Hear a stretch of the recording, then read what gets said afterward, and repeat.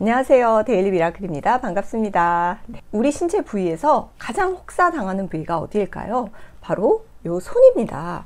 저도 이렇게 점점 피부가 얇아지고 이제 혈관이 새파랗게 보이기 시작하고 쭈글쭈글 이제 더 있으면 아마 여기에 이렇게 노인성 반점인 검버섯도 하나둘씩 보일 텐데요. 그 전에 예방을 하는 게 가장 중요하고요. 꼭 하얗고 고운 손 만드는 그런 홈케어를 한번 해보도록 하겠습니다.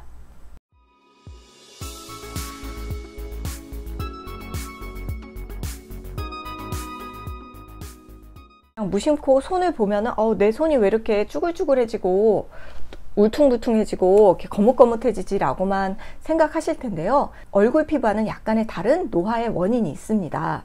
네, 먼저 손은 이 얼굴과 다르게 자외선 차단 케어를 잘 할 수가 없는 부위이기 때문에 그래서 자외선의 피부가 과다 노출이 되고 피부 재생 능력이 떨어지고 그리고 멜라닌 세포가 과다하게 증식이 되기 때문에 검버섯이 한 번 생기면 굉장히 확 늘어나게 되고요. 그리고 다음으로는 손 피부의 정맥 혈관이 아주 도드라지게 드러나는 현상인데요. 이것은 나이가 들면서 지방층이 줄어들고 가려져 있던 혈관이 노출이 되어서 생기는 현상이에요. 그래서 보면 약간 통통하시거나 뭐 지방이 있는 음식을 잘 드시는 분들은 뭐 다른 질병은 있을 수 있지만 적어도 손에 혈관은 없이 손이 굉장히 통통하고 윤기가 흐르는 게 보이잖아요. 그만큼 이제 나이가 들면은 지방도 어느 정도는 있어야 되는데요. 이럴 때는 피부 관리도 중요하지만 생활 습관이 굉장히 중요합니다. 혈관 노화로 일어나는 혈관의 확장을 막아야 되는데요. 무거운 물건을 손으로 들고 있는 동작이라든지 손을 아래로 오랫동안 그냥 내리고 있거나 골프의 스윙 동작이라든지 이렇게 뭐 덤벨, 손으로 혈액이 많이 모이는 그런 동작들을 습관적으로 자주 하시게 되면은요, 이렇게 혈관이 굉장히 보통 사람들보다는 훨씬 더 붉어지게 됩니다. 너무 과하게 하지 않으시는 게 좋고요. 그리고 나이가 들면서 피부의 수분이 줄어들게 되고 피부가 얇아지게 되죠. 그래서 손이 굉장히 쪼글쪼글해지게 되죠.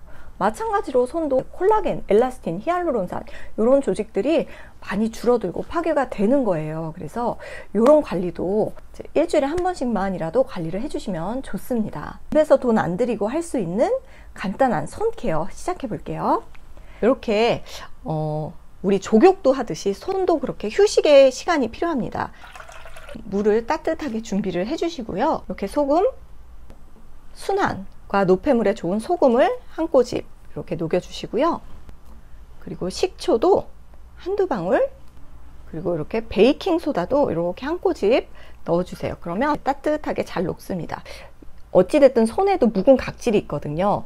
노화가 진행되면은 그 각질 주기, 각화 주기가 굉장히 길어져요. 그래서 이렇게 각질 케어가 굉장히 중요한데요. 손도 마찬가지겠죠? 그래서 음, 이렇게 베이킹 소다가 알카리성이 있기 때문에 그런 거에는 좀 좋아요. 넉넉하게 좀 잘 담가주세요.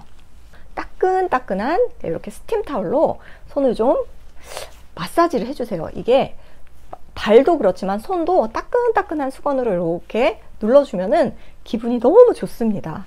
노인성 반점인 검버섯과 손에 얼룩덜룩한 흔적을 지울 수 있는 굉장히 좋은 게 바로 요 타마노 오일입니다.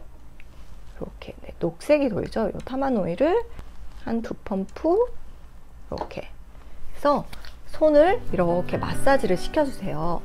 손이 오늘은 좀 호강하는 날이네요. 맨날 이것저것 보조적인 엄마들처럼 우리 주부들처럼 보조적인 역할만 하다가 오늘은 이렇게 손이 좀 호강을 하는 날인 것 같아요. 손과 손 사이 여기를 이렇게 좀 잘 꼬집어 주세요. 이렇게 꼬집듯이 좀 세게 압을 가하셔서 여기를 자극시켜 주시면 특히 이 부위가 굉장히 시원합니다. 좀 아파요. 아픈 부위는 이게 내가 여기가 어디랑 연결되어 있는지는 정확하게 몰라도 굉장히 내가 좀 안 좋은 부위라고 해요. 그래서 이렇게 누르시다가 어 좀 아프다 하는 부위는 조금 더 풀어주시면 좋습니다.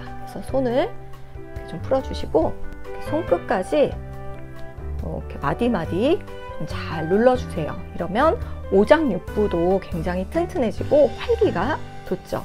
그래서 손 마사지 박수만 잘 쳐도 왜 건강해진다고 하잖아요. 그만큼 손을 잘 마사지를 해주시고 자극을 주시는 게 굉장히 좋습니다. 그러면 이렇게 타마누 오일이 일단 이렇게 피부를 굉장히 건강하게 만들었어요. 음, 잡티의 흔적을 좀 없앴습니다. 이렇게 하시고 요 바세린, 네, 요 바세린을 이 정도 해주시고요. 비타민 C 폭탄 그리고 재생에 굉장히 좋은 오일이죠. 로즈잎 오일을 한 펌프 집에 미강류 오일 만드셨다면 그렇게 사용하셔도 좋지만 내가 좀 검버섯이 많, 많은 손이다 어, 좀 쪼글쪼글한 편이다 하실 때는요 이렇게 로즈잎 오일과 이렇게 또 동백 오일 주름에 좋은 리놀산이 풍부한 이 동백 오일을 같은 비율로 한 펌프 이렇게 이렇게 발라주세요. 그러면 이렇게 굉장히 촉촉하고 어, 보습막이 쫙 생깁니다. 이렇게 하시고 또 음, 주물주물 그냥 두시지 마시고 마사지를 해주세요. 여기를 이렇게 깍깍 누르시면은 소화가 굉장히 빨리 돼요. 거짓말 아니고 여기만 소화가 안 되시는 분들 여기 한번 꾹꾹 눌러보세요. 소화가 잘 저는 되더라고요. 그래서 이렇게 손 마사지만 해도 허기가 확 지는 느낌이 저는 있어요. 그만큼 비위, 비장, 위장이 약하신 분들도 잘 그냥 어디든 손가락 10개 한 번씩 주물르는 거 1분도 안 걸리거든요. 그렇게 잘 눌러주시면 돼요. 이렇게 하셔서 굉장히 촉촉합니다. 이렇게 하시고 이렇게 하시고 그냥 주무셔도 좋아요. 그런데 저는 한 가지 더, 한 가지 과정이 더 저한테 남아 있습니다. 집에 아마 핸드크림 하나 정도는 다 있으실 것 같아요. 크림을 이 정도 짜주시고 우리 레틴 A 크림 있잖아요. 이 레틴 A 크림을 좁쌀 하나 정도 한번 발라줄 거예요. 좁쌀 하나, 쌀알 한 톨 정도로 그 얼굴에 쓰는 것과 마찬가지로 이렇게 섞어주세요. 이 레틴A가 레티놀 성분이잖아요. 레틴A 를 썼을 때 가장 극적인 효과가 뭐였죠? 모공이 줄고 미백에 좋고 피부 결이 좋아지고 잔주름이 없어지는 효과가 있었어요. 손에도 마찬가지예요. 대신에 우리 그 레틴A의 부작용이 뭐였죠? 햇볕을 보면 안 되고 그리고 건조함이 느껴진다. 손도 마찬가지예요. 그래서 이렇게 레틴A 크림과 수분 크림을 잘 섞어서 습관적으로 뭐 이틀에 한 번, 3일에 한 번 꾸준히 쓰시는 건 좋은데 보습 관리 충분히 해주시고 나이트 케어로 진짜 이건 밤에 주무시기 전에 이렇게 하시는 게 좋아요. 그러면 손도 늙어요. 손도 노화가 진행, 진행이 되는데 손은 속수무책이에요. 아시죠?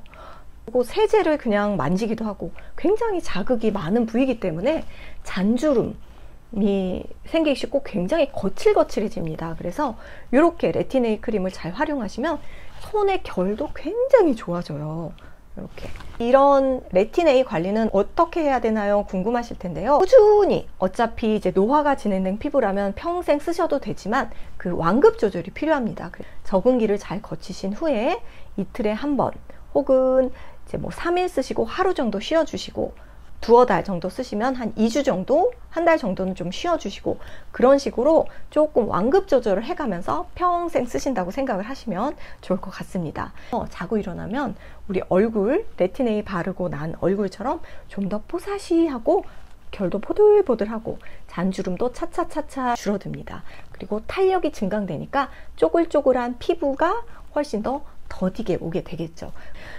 손의 탄력 관리를 어떻게 해야지 라고 고민하셨던 분들한테는 이렇게 좀 이틀에 한 번, 3일에 한 번씩 시간 많이 안 걸리니까 하셔도 좋을 것 같습니다. 얼굴은 화장으로 가릴 수 있지만 손은 진짜 속수무책인데요. 이렇게 관리하신다면 딱 손도 어디 가서 자신 있게 딱 내놓으실 수 있을 것 같습니다. 그럼 여러분 저는 다음에도 또 좋은 꿀팁으로 찾아뵐게요. 오늘 하루도 행복한 하루 되시고요.